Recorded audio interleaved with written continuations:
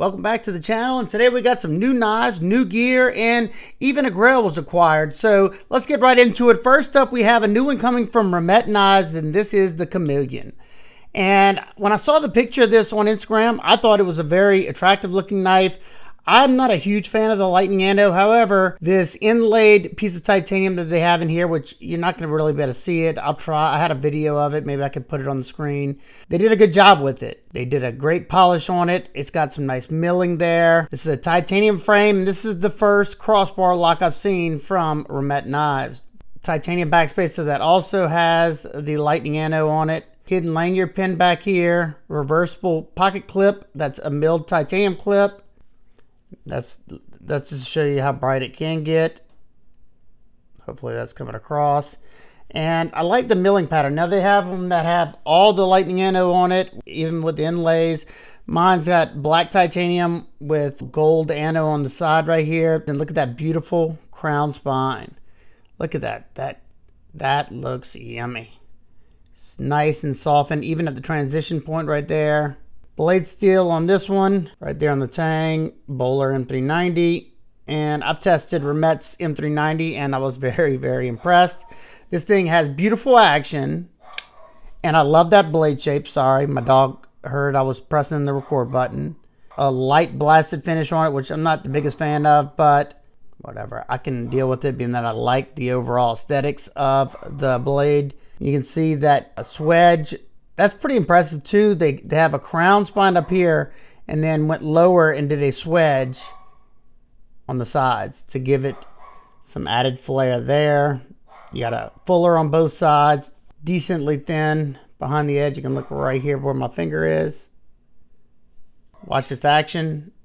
Very nice. And you can see those three little dots. This is an adjustable crossbar lock, as you can see right there. It's basically a clutch lock. It's on the middle setting right now and it's super smooth. It I can I can make it come out, but it's not a bench Benchmade strength. I was like, well, let me see how good they do the, the crossbar lock. When I say I cannot make any up and down, and all my bench Benchmades, I can make them kind of slide a little bit up and down. It's not going to fail on me, but, you know, that's pretty impressive. No side to side. Comfortable. So, yeah, this one right here on Amazon goes for $195, but don't freak out at that price. I have a code. I'll pop it up on the screen right here. That'll give you 15% off. And then once you click my link and pull up the knife, you'll also see a $20 off coupon. So this one will, it'll end up being around 150 bucks. I think that's an outstanding, outstanding price. It's a nice full-size knife. Here is uh, the Ontario Rat 1. And here's the Rat 2. So it's in between the Rat 1 and Rat 2, what it looks like next to the PM2. So the PM2 is bigger, so I'm guessing this would be bigger too, the Hogue Ritter. Yeah. Uh, don't have anything else near me. Excellent EDC size. It's not super heavy or anything. It's got just a small little liner that's inset for the crossbar lock. So interested to hear your thoughts on this one. Speaking of Remette, I've been testing this Remette Urbane and this one has just really shocked me. You know, I, like I said, once I found out this was titanium and how they did this, how this pops off, that if you notice, you I have a pivot there. I just started doing the testing on this VG10 Damascus. And so far, I got to say, I'm very impressed. It's nice and smooth. You got a flipper, front flipper, blade hole, and that hole right there for reverse flicking is comfortable. Tie, backspacer, pocket clip, desert ironwood, covers right here. This one's like 135 bucks. Pretty crazy. I'll have everything that is in this video linked down in the description. Most of them are probably affiliate links, so if you want to help support what I do here on this channel, that is one way to do so. If not, no big deal. Next one, we have the Sencut Pulsewave. This is a brand new release for them. Kind of reminds me of like a Sencut Sashi and a Slashkin and uh, another one. this is uh, We Knives budget budget brand. This one comes in at 45 bucks. It's a button lock, thumb stud action, flipper action. Nice and smooth, nice and snappy. You got a pretty low drop point and This knife right here came ridiculously sharp, like every single Sencut knife I've gotten. And so far, I'm not completely done with the testing. I have, I think, one more portion of it. Man, for 45 bucks, it's amazing what you get nowadays. When I first started in the knife community, 45 $50 knife, most of them were junk, but that's because I didn't know any better either. Reversible deep carry pocket clip. You can get it in different scale options. There's a micarta option. I'm guessing there may be a wood option, not sure. Yeah, action's great. Ergo's good. You can kind of choke up. It's more of a large sharpening choil. That is the Sencut Pulsewave 9CR 18 MOV stainless steel. I've tested it a whole bunch of Sencut Civivis 9CR and there's no slouch at this price point. Next up, I said I acquired a grail, and this is a grail for me. So it all started with this knife. This is the CRKT Matanza Montosa. I'm sorry. This is a Richard Rogers design, and uh, I love the overall profile of this knife, but the materials and the craftsmanship on this knife were kind of poo-poo. 8CR steel, so that's already a wah-wah and I had up and down lock rock that I had to fix myself.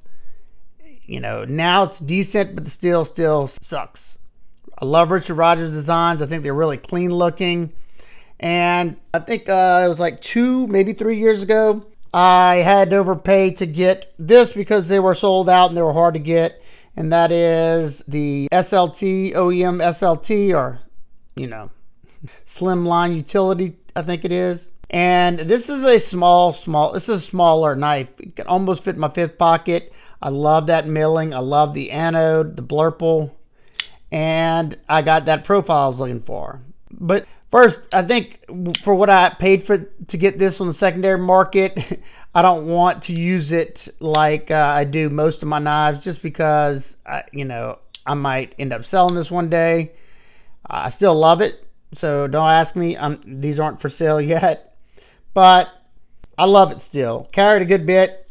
Well, I saw on his Instagram page that he was going to be releasing a few of his X mid OEMs at 8 o'clock in the morning on a Saturday. I didn't think I would wake up, but my dog woke me up. I went walking. It was probably 6 o'clock when I went walking. I went watch some TV and I had an alarm set. Got on the site. I got me one of the X mid OEMs. So it's a bigger version of this both of these are OEM by Bestech, and I gotta say, Bestech absolutely killed it. Check out the custom hardware there. I mean, it's got regular Torx. That uh, frag milling, it has that cut. It like I saw. I've handled his customs at Blade Show, and you know they they look so much like the customs. Tie backspacer. The mill clip, it functions great. It doesn't look the best with the design, but I know a lot of people didn't like this one. I kind of liked it. It functioned really well for me. Um, I don't know. What do y'all think about the pot clip? Now the action on on this one is way better than this one, I'm sure, because it's just got a bigger blade.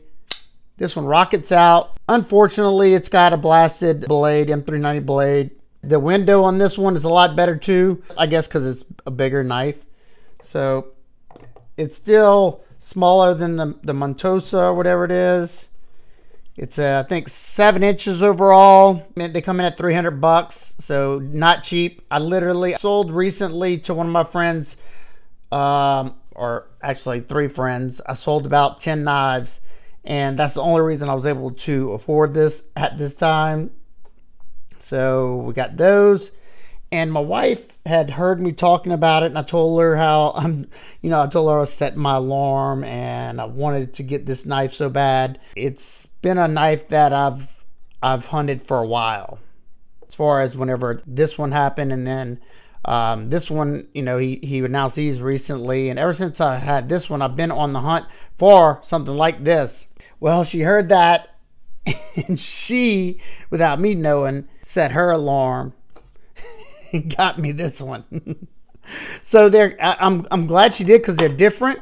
So this one, you know, of course, has the bluish she called it, I think, stonewashed uh, anode blade with a blasted, like a bead blasted finish.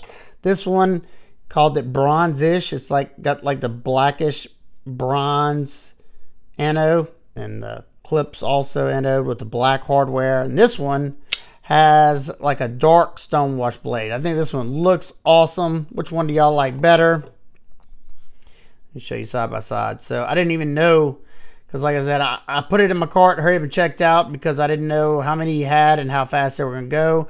I was hoping, being that it was so early in the morning, there wouldn't be as many people on the site. They lasted for a while. You know, if you if you picked up one, let me know.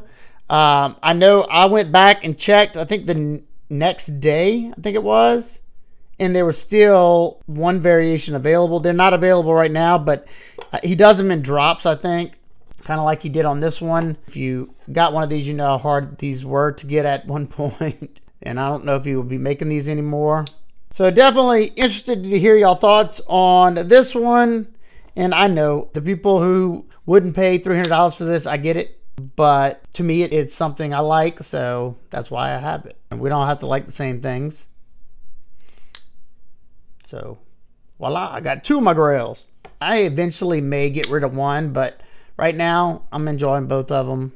We got a new flashlight, and it's my brightest flashlight in the collection. And my first time working with this company, we got a new Wuben flashlight. This is the Lightok, what is it, Lightok, Lightok X1. Comes with this massive sheath. This thing's a brick, but check this thing out. It's pretty weighty. Aluminum, everything's got, uh, I think there's a Torx everywhere. It's got an onboard fan. Where can you see it? Yeah, I don't know if you can actually see it in there, but there's a fan in there to keep it cool. Might be that one right there. Check that out. This thing puts out a whopping 12,000 lumens. Cannot wait to do some beam shots tonight. Check that out. It's got a click button here. It's got a 4800 milliamp hour battery. So I don't know if y'all enjoy flashlight content, but I have three flashlight videos that will be coming in the near future. I'm thinking that I'm going to post my flashlight content on Sundays. Y'all tell me what y'all think about that. So I hope y'all will at least give it a chance. I try to put out quality content no matter what it is. You know, I'm not not the best at it, but I, I will always be honest with y'all and uh, let me know what y'all think about the new gear. Anything that is available, I will have it linked down in the description. If you have any questions about anything, feel free to ask me down below and I'll do my best to get back with you. I hope everybody is having an absolute, absolute amazing day. I will see y'all on the next one.